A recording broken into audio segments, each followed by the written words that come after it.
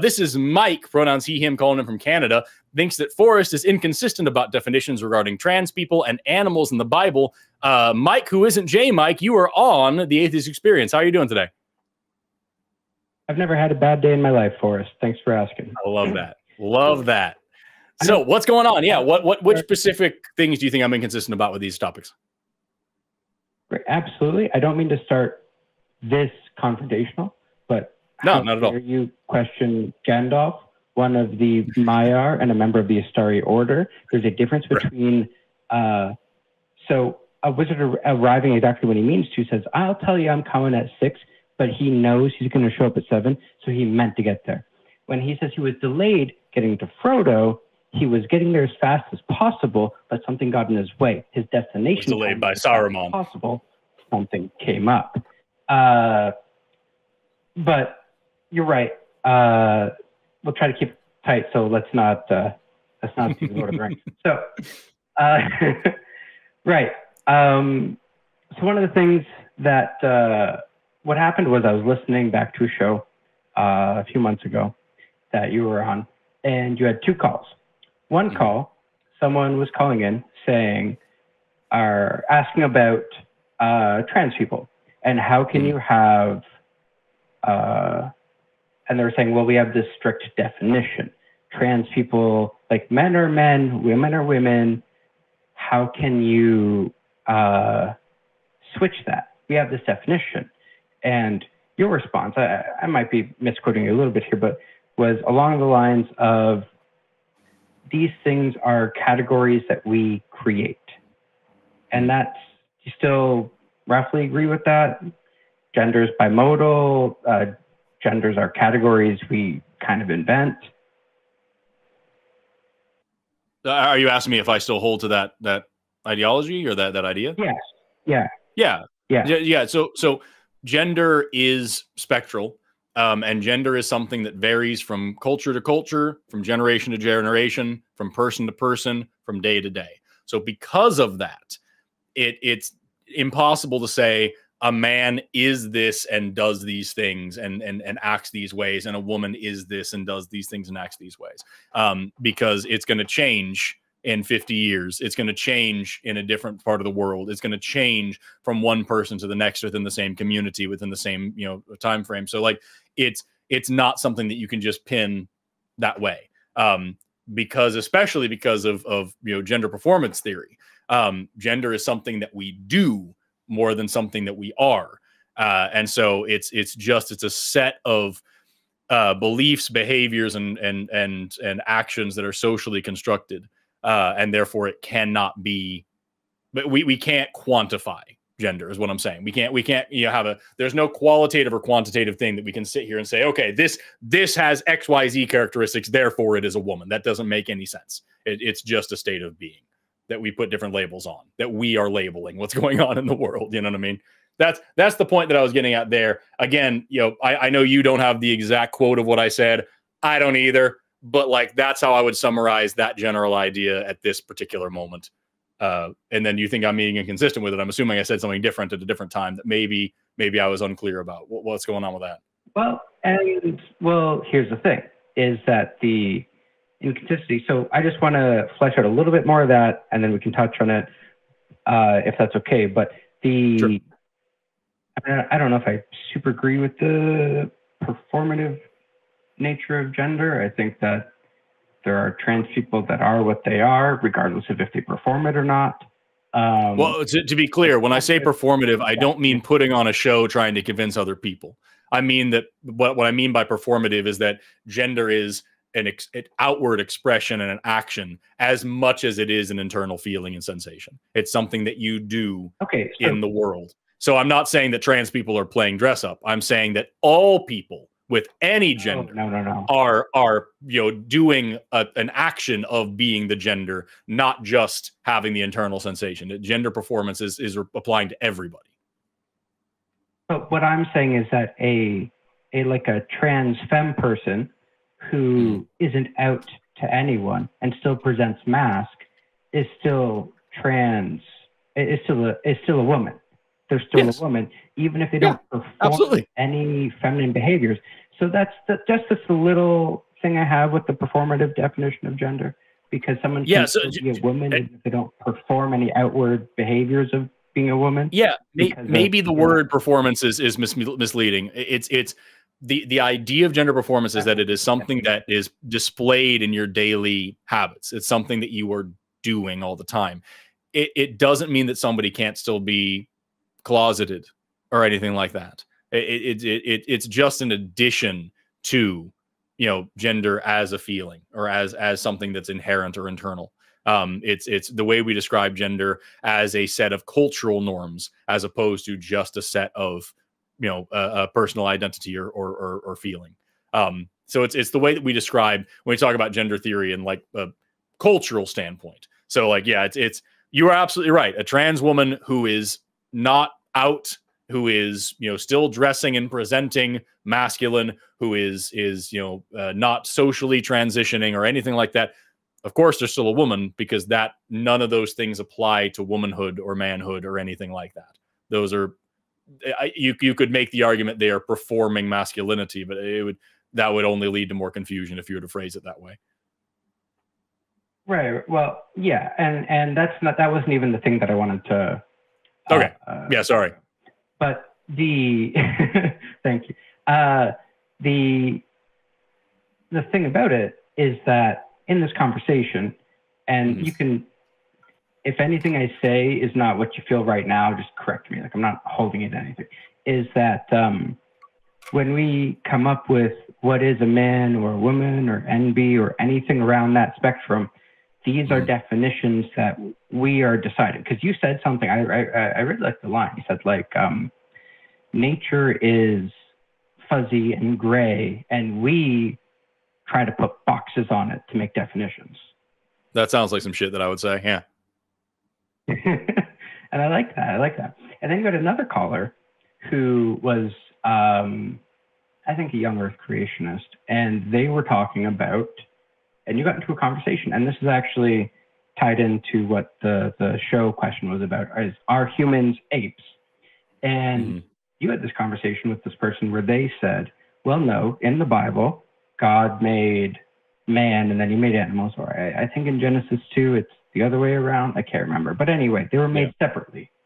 And so in typical Forrest style you went through well first of all we're mammals. We got nipples. We got memories uh, and then went through a couple other things that defined us defined us as apes. That that's something you would say or do right now if I said humans aren't apes. that's what Right. yeah yeah that's what i was going to start the show with but we had to we're on a time frame yeah right, right, right. But the problem I had, because this guy was saying, well, and this is where I think the contradiction comes from, was that he was saying, uh, according to the Bible, humans are not animals. And then you said humans are animals, uh, according to biology. And the and looking back at the prior thing, we said definitions of these things on the trans issue, we said definitions of these things are fuzzy, and we're kind of making these boxes up um, because nature is fuzzy. Nature doesn't come with boxes. We make the boxes. Nature is fuzzy. So, but that's a definition that we're using, we're creating definitions. So one could say, like, you know, you've heard the tomato thing. Tomatoes are a fruit, but like uh, in a biological sense, but they're not a fruit in a culinary sense. Like if you make like a veggie terrine, you can put a tomato in there. You're not going to call it a fruit veggie terrine. So I think that someone, and this is kind of the main case I'm trying to put forward, is that someone who's like a biblical literalist can say, by a biblical definition, humans are not apes. Okay, so you're you're saying that you're it sounds like your challenge to me is that because I put things like gender and species and everything else on the the same playing field and by saying that all of these are boxes that we as scientists draw around nature We look at nature. Nature does what nature wants to do. We find patterns. We draw boxes around those patterns. Doesn't mean that the boxes are necessarily real, and that's why the boxes change from time to time. Those are all things that I say. Your argument is that then somebody can come back to me and say, well, because the boxes are arbitrary, I choose to draw them differently, and you can't say that I'm wrong. And in my choice choice of the boxes, I can say that trans people are invalid and that humans aren't apes or animals and, and blah blah blah. Is that is that about what I'm getting? Uh, pretty close. I wouldn't push that trans people are invalid. You opened with it, so I didn't know if it was necessary that it, it be involved. Can I just point out that I, I well, really I, like for the audience or yeah. anybody else, not that any, not like anybody is not aware, but if anyone isn't aware, what Forrest did just there is like really good in, in a dialectic. Say this is what you're saying. This is my view. That Steelman's great. I just Sorry, I just wanted to give kudos to that because it, it, makes a conversation work so well. So I try, I try. Uh, yeah, sorry, I, will I'll shut up now. I just that's, that's all I have to offer right now. I appreciate that. No, that's very kind. I I would argue with it, it, with that being the the challenge. I would argue um, specifically right. about the animals thing first. Um, that the box of ape is within the box of animal, and the box of animal is within the box of life and so like it, there there has to be some fundamental reality that we can agree on. And there's a certain point where all of our boxes are going to be the same. Um, so you talk about like, you know, animal versus plant versus fungus versus whatever. It comes down to cell type. Like you you look at their cells and you can tell the differences. And yet there are plenty of living things that fall outside of that that cannot be classified this way. That's why we have protists we had, you know, the Protista used to be a whole kingdom, and then it kind of wasn't anymore. And now we have animal like protists and plant like protists, and we have different. But at the end of the day, these are things that simply cannot be classified as plants or animals. They're just kind of fuzzy, weird, in between gray areas that still exist and still matter and can still be tested and still have real ramifications in the world that doesn't mean that the box of animal and plant and all these things aren't real. So if you're talking about humans being great apes, if you accept the fact that we, you know, J Mike and I were talking about this just before the show. If you accept the fact that humans are mammals, you must therefore accept the fact that humans are animals because the mammal box is within the animal box. And so it's it's like saying, yes, this is a Subaru, but it's not a car. That doesn't make any sense. You know what I mean? That you can't say that. And so, like, I'm still looking I'm, for those non-animal, uh, non right? Mammals. Yeah, g- give so me an example. Email, you know, yeah, an atheist. I think. Yeah, no, and yes, and, that's it. Yeah, and, um, and it's the same thing if we talk about you know with with with gender. One of the challenges that I give to people who who claim that you know sex and gender are the same thing and that they're strict binaries and that they fit in these little boxes is can you give me a definition of man or woman male or female let's say so let's say you know the popular one is woman that's the one that everybody likes to jump to so they can lump homophobia and sexism together into the diarrhea martini called transphobia. Oh, what is what is um, woman? Huh? yeah, exactly. Yeah. So let's go with that one. Can you give me a definition of woman that number one includes all cisgendered women and all transgender men? Number two excludes all cisgendered men and all transgender women. And number three is exclusively solely based on physical characteristics. You can't. There's there isn't. Well, I've yet to hear one. A, a, a, a, solid definition of that that makes sex and gender the same thing and can actually properly define one against the other in a way that includes every single member of this group and excludes every single member of that group and is purely physical. It doesn't make any sense because sex is a multivariate system without a single determining factor, solely determining factor, and without a single factor that has uh, just two uh, uh, variables and gender is a completely separate thing from sex necessarily. Okay. So- um, and so it's the same thing we talk about animals, when we talk about species, when we talk about what our taxonomy is.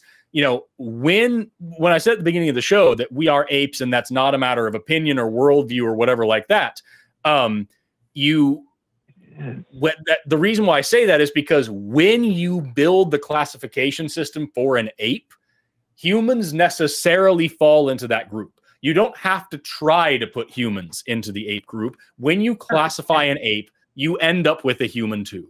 And there was a long time we tried to not do that. When we tried to say, like, humans are this other we we made man the tool maker always only man the tool maker right? And then jane goodall went out and found chimpanzees making tools. And uh, leakey uh, famously said well we either need to redefine tool redefine man or accept that chimpanzees are humans. And so like that's the thing man. Every single time throughout history that we've tried to set ourselves apart it hasn't worked. When you use the classification okay. system that we have it, it, it works as well. And you could argue the classification system is broken, but that is a very, very, very expensive thing to say because you now need to find a way to restructure a classification system in a way that works like with what you're saying specifically. And I guarantee you can do that. You know what I mean? Well, no, here, I can. I can very simply. Um, Go for it. So when you, because you, said, I feel like this isn't going to be simple. When we build, oh, sorry, J. Mike, were you saying something? Oh no, no, sorry, ignore me. I'm Sorry. Oh, sorry. Okay, so when you said when we build the classification of an ape, and that's a really important comment here. That's a really important statement, and that's what I'm pushing back against a little bit. Is that we decide what counts as an ape or not? When I say we, actually, I want to break it down a little bit because we sounds like it's including everyone. We includes biologists. I think. Uh, the FDA. The FDA. Do you know what the FDA classifies bee honey as? It classifies it as raw meat. As a biologist, do you think honey is raw meat? No, but I also think that's a bad analogy because the FDA is a political organization and their motivations are necessarily economic and political. It's the same reason why uh, vegetable or uh, uh, uh, because you brought up tomatoes earlier, tomatoes are taxed differently because they're culinarily vegetables, even though they're biologically fruit. So, like, biology is not going to be hindered by those same issues. It has been in the past. And a big part of biology over the past really two centuries has been to undo that and to say all right these were us you know these classification systems here were us applying our literally victorian standards on the rest of the universe. Turns out that doesn't work. Let's let nature tell the story about nature. And that's what biology has been. I mean, er, um, earlier i started with the util- utilitarian argument for why in a culinary field uh, tomatoes are considered vegetables uh, even though they're classified as fruits biologically, it's because from a utilitarian perspective, it makes more sense uh, that if you're a if you're in the kitchen culinarily, it makes more sense to call a tomato a vegetable. If you make a dish that you says is only vegetables has a tomato in it, no one's going to call you out on that. Um, and you're not except there are some fruits that aren't sweet and that you would totally put with vegetables and there are some vegetables that are sweet and you would totally put with fruit. Like it's uh, it's the, the, the, the long and short of it is you're talking about an arbitrary classification system by using an arbitrary classification system and you're trying to say well humans do these weird things. and it's like yeah what? Is also arbitrary. And but, but, make, you can add one more arbitrary classification system which is biblical which is that humans are separate from animals and that's part of the thing is you can make a arbitrary you because if we can agree that the biological classification things you did say we created it um, if that is fundamentally arbitrary then a biblical definition of whales as fish i mean you know the fish definition is already a weird one anyway but um, excluding humans from animals uh, I mean, which we do colloquially anyway, uh, is another arbitrary definition that a that a Christian or whoever could have that is valid in the sense that so long as they're not saying in a biological sense humans are not animals still makes sense in the framework of biblically humans are not animals because like if you want to hammer down super hard on the biology thing like that's inconsistent with your take on trans people. Are, are you still there? I, I i don't know if i'm sorry did i cut out? I think oh okay Have sorry there's no you're there. There's a little issue on my screen as well so apologies. We'll get forrest um Uh, we'll get I'm not hearing back. Forrest either, and, I- and I thought I would hear for, hear Forrest at this No, point. it's Forrest. Forrest is about to be getting back. No, you're good. Forrest is back. I, I I thought it was me, so we were both kind of going through this. Oh. Uh, oh. Oh, I'm sorry. Uh, maybe maybe that's on my end. Yeah. Just really No worries. Mike. Uh, earlier, I I've seen you a few times on the show. Did you say you were a Christian earlier, or did I mishear you? I've never been a Christian. Oh, okay. I I think you said in the example you're presenting as a Christian, and that's what I probably heard.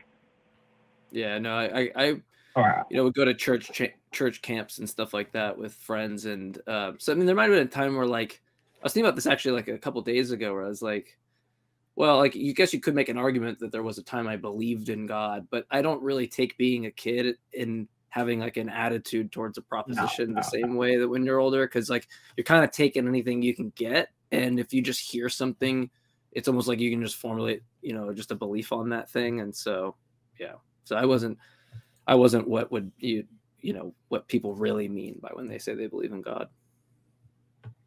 Not only am I back, but my quality is significantly better. At Yeah, least you on my it. end. That one, it was way better you, than it was. You went off and got your, you get makeup. That's what happened. Got my glow up. Yeah. I- anyway, Mike. I- uh, yeah. Long story short, from what I'm hearing, is that like anybody can apply any arbitrary thing. I would argue that science has gotten significantly less arbitrary, especially biology, uh, over the past couple of centuries. Um, we've been doing a really good job of dismantling old constructs and reapplying, you know, looking at nature and letting nature tell the story. And so while I would maintain that yes, our whole job is to draw boxes around patterns, and the the reason why I say that is because sometimes those boxes change because we discover new data. That doesn't mean that the boxes are flippant or that they're they're pointless. It means that we haven't discovered any new data that would make us change the boxes yet. What's important to remember is that you never accept a hypothesis, you fail to reject one. You're always trying to look for a reason to change. You're always trying to reason to prove yourself wrong. And when you can't find one, you cannot prove yourself wrong anymore. That is when you move forward with the proposition.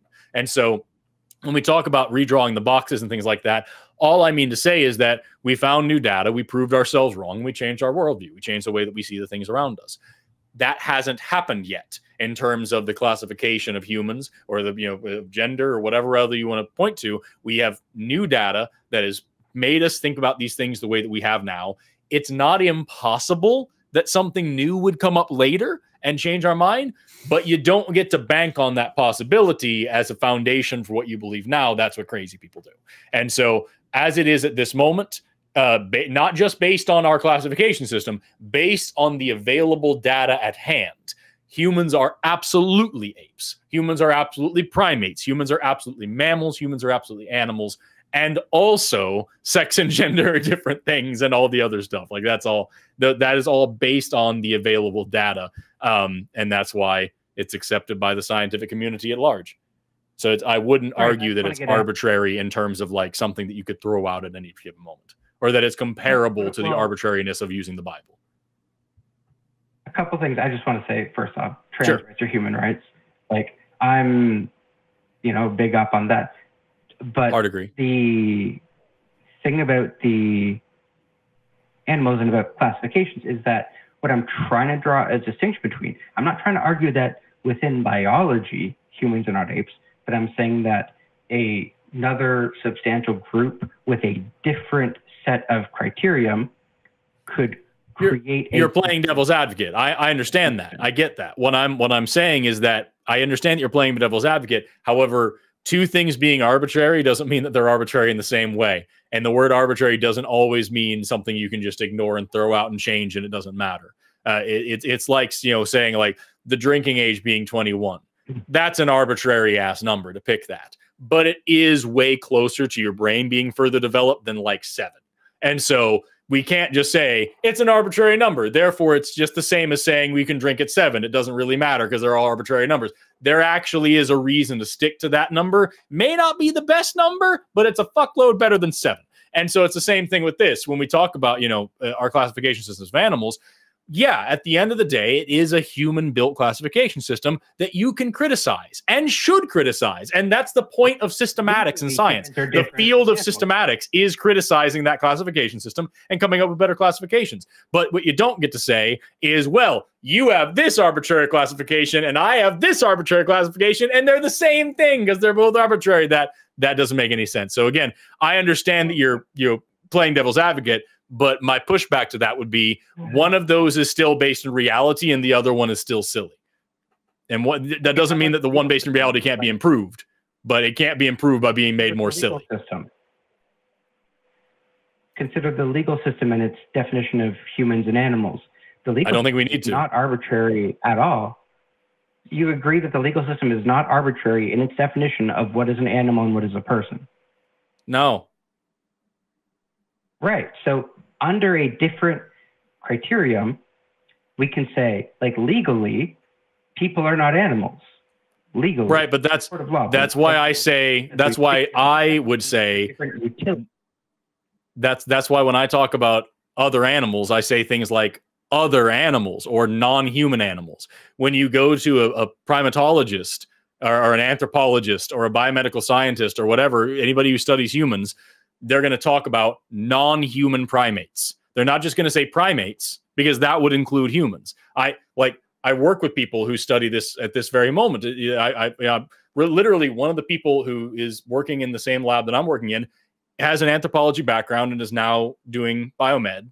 And he studies non human primates. And that is the language that he uses non human primates. Because if he just said primates, he would also be talking about humans he doesn't consider the legal definition or the biblical definition or the anything. He's talking about science because he's a scientist doing science. And so, like, when we're speaking about reality, we can use real terms. If I'm going to talk about other animals, I'm usually going to say the term other animals. If I'm speaking colloquially, I might just say animals because we, in, in common parlance, make a distinction, but that doesn't change my or anyone else's classification system uh, nor should it stand as a criticism for my or anybody else's classification system. So, Forrest, did your friend doesn't use keep creeping thing as a as a uh... yeah exactly. I, I don't i don't count creeping thing in my taxonomy. Right exactly. Yeah that's that's that's yeah it's if if someone was going to try to use biblical classification we would have a million problems. Like how you know insects how you classify them or how you classify birds. Are bats birds or not? Because the bible says they are. And I, so I, like Sorry, go ahead. Yeah, I was just going to say, like, it's, it's as as I said a little while ago. If you really want to try to say, you know, this is my classification system based on the Bible, okay, that is a very expensive thing to say. That's not a difference of opinion. That is a very expensive thing that you now have to back up with a lot of changes to everything you say about everything else. Yeah, imagine science uh, classified something as creeping thing. I mean, pe- like yeah, creationists well, people wouldn't shut up. Does, does that does that include? It. Yeah, exactly. Does that include grasshoppers? They're jumping things. Does that include yeah. my neighbor? He's pretty creepy. Does that you know what is that? Yeah, it's, that's yeah. It's just anyway. We've we've been going for about 27 minutes and we've got two other calls left and we've still got you know, we're already 30 minutes over time. But is there anything else you wanted to add there, Mike? There, there's just uh, one last question, just for for for J Mike there, as I, I, don't get a chance to talk to philosopher much, but um, I I won't call myself a philosopher ever, so just pointing that out. Well, I, am gonna it's like, gonna have to get used to it. Uh, uh so it's kind of does, to me. Is can something have uh, free will? Like, can you can you envision a being that isn't uh, affected by determinism, or is the my kind of posit here is free will is an error of language? Uh, can you envision a being with free will that is not affected by determin- determinism or randomness? Um, are you are you asking me like what my what my view is? Yeah, yeah. Can something have free will, and what does that mean? Well, that depends. Like, uh, if we're talking about libertarian free will, no, I don't see that as an option. Um, you know, I have some friends and whatnot that give some pushback on it. So, you know, maybe the assessment's not correct or something, which is fine. Uh, but the way that I look at possibility or modality or um, being able to do otherwise or um, anything like that is it's a question about if the antecedents are fixed. Like if we fix those, uh, I have an issue with explanatory difference, uh, like an explanatory difference principle. And what I mean there is like if I if we fix all the facts, like Forrest, you know, makes a sandwich and gets all the the bread out and the mayonnaise, right? And he's about to eat it. Ugh. Um, yeah, I don't like mayonnaise, mayonnaise, either. Yeah, I just said that in case Katie was watching. I'm with you guys. um, so, um, but if we fix all those facts and we say that, like in one case, like he eats the sandwich, and then in another case, like it could you could hold those same antecedents fixed, and he could just decide not to eat it. Uh, there needs to be some explanatory difference between those two worlds and what that's going to amount to in my aspect is some other some difference in the antecedents which prompts the difference in the subsequent uh, outcome but determinism so you can't have a difference in the antecedents well i'm just saying if we're supposing that we say like why did um Forrest eat the sandwich rather than not eat, or you know, what is there an explanation for why Forrest ate the sandwich as opposed to no explanation? That's going to be a true dichotomy, and if it turns out to be an explanation, then what I'm looking for is an ex- explanation on uh, like why he ate the sandwich, and if we can use the exact same ex- explanation uh, to appeal to him not eating the sandwich. And I'm saying you can't do that because uh, there's an explanatory difference. There's different antecedents that are going to prompt uh, a different outcome, and so free will isn't even an option in that case, right? It's not even part of like in my view, it's not even part of the dichotomy. The only way right. that you could okay. get a different option, in my view, is if there's like something indeterminate or random, because like you can imagine that we're um, equal free will because then you no, no, I, I, don't. Yeah, I don't know. Yeah, exactly. I don't know. You would collapse your intentions into like, I mean, because like pre- presumably you don't want free will being a species of indeterminism like that would be very strange to me i mean maybe, maybe someone can make an argument for that and they want to they want to nest it in in that realm or whatever but for me the way that i'm looking at it, it's like if you imagine we just had a uh, you know it's a play-doh factory is an example that's given um, and we're pumping out red play-doh all the time uh, and we know that no one came in overnight and put blue dye in the machine and me and Forrest at the red division you know of the of the dough factory or whatever um, we see blue play-doh uh, uh, pump out of the machine, and all the antecedents are the same. The machine's the exact same. Everything is the the exact same way. But blue comes out. The only way you could have such an explanatory difference uh, without it being determined as if it was random. If it just at some point there was an indeterminate link between like the machine and like the effects that it produces or whatever, and that would explain blue, or it would, in a sense, right? It's like kind of like rolling a quantum die. It's like, well, yeah, it, right. We yeah, don't. We well, can't explain why it, it rolled six over three, but it was random. Yeah, and so free will doesn't exist in either of those cases. But I would call myself a compatibilist in the sense that, or I lean towards compatibilism. I'll say, in that I the way that I want to use free will is is different than a, a libertarian notion. So. Right, right, and that's and that's I think that's all I was trying to kind of do because I think my view of this with a little bit of background in linguistics, is like free will is just a term used wrongly. Like we like free will means what we experience is free will, not but philosophically, you know, we can't exactly show that we have it. So I think when people say we have no free will, I think there there's two versions of the term and they're using one over the other. But anyway, I appreciate your guys' yeah, time. no problem. I, I, do want I do uh-huh. want to add just real quick. I don't think that the concept sure, sure. we're tracking with free will on the compatibilist thing is people going like, "Oh, if you were around rewinded the clock, I could have done this other thing." Like, I don't think that that's what people really no, mean. I, I think what they're, I think yeah, I think that the concept that we're actually tracking, and I know there might be a lot of people disagree with me, is something acting as in according with your desires and what you want. Some like a normative kind of accordance relation or something. Um, and it wouldn't matter to me whether or not I was like determined to vote, you know, for candidate A or whatever. You know, if someone came up in the machine and Plankton got in my head and you know just you know try to get me the Krabby Patty formula or something or get me to vote for candidate B. Uh, that's going to go against the desires that I had. And I think that when we talk about free will and the context there, I think most people are tracking that concept. That's going to involve a giant analysis. I can't sum it up in this you know last little few sentences, but um, there's debate on that, and I, I enjoy that topic, but it's definitely not something that I like go out of my way. It's I, I can take it or leave it with determinism or compatibilism. I could wake up tomorrow fully determinist, not compatibilist. I wouldn't. It doesn't matter to me.